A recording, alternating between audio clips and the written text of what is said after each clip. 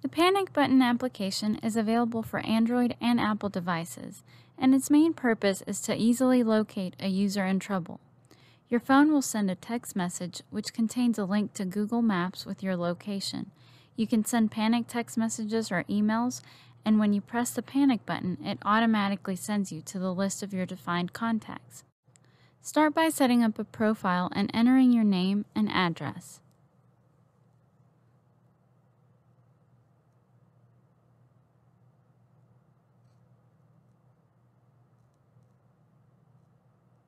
Once you input the information, then you can add your contacts.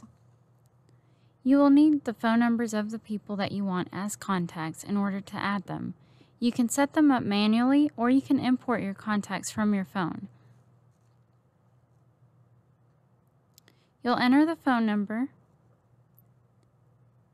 and then hit OK. And you have to make sure that you put the country code in as well. The free version only allows you to add one contact, but if you choose to upgrade to the Pro version, you would pay a one-time fee of $4.99 for some extra features. You can also pair the app with your smartwatch if you have one. Under Settings, you can see more features that are available with the Pro version, like changing what your quick messages say. The video and the microphone features are also part of the Pro version. However, the free version works just fine for what it needs to do. Just click on the red panic button and click send on the message section and that person will receive your panic alert. If the phone doesn't have access to GPS satellites or cannot get the current location, the app will send a quick help message and when the location is available, it'll send a new location. This would be an example of what the person receiving your alert would receive on their phone.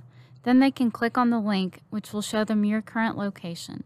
And using Google Maps, they can track you down and use directions to get there quickly.